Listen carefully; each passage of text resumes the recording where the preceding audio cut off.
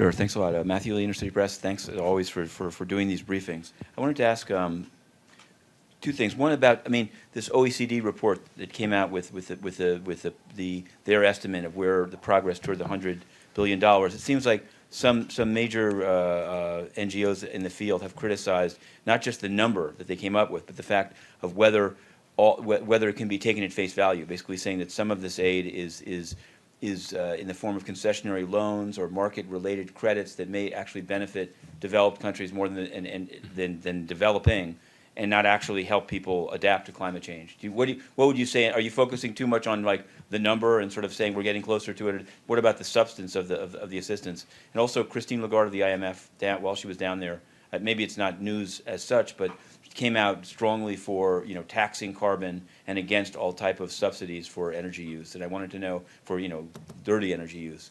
What, what's the UN's? Is there? Does the UN agree with that? What's your thinking on that? Mm, okay, so uh, first on the the OECD report, uh, uh, this was finished literally a few days before the meeting, and uh, there are uh, what's what's new and what's remarkable about the OECD report that it actually has methodology and they provide transparency about that methodology.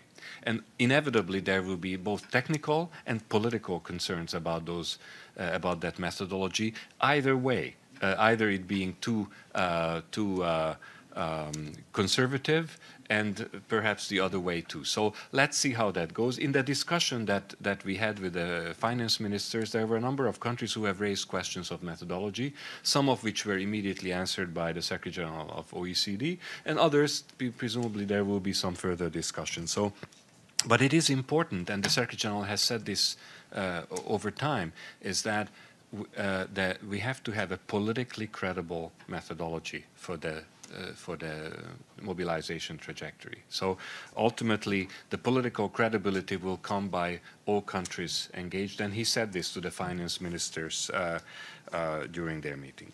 As far as uh, uh, Madame Lagarde's uh, suggestion about carbon tax and, and subsidy removal, these are certainly perhaps the most important ways in which countries can address the, the, this issue. So this is something that uh, the Secretary General has also uh, spoke about many times.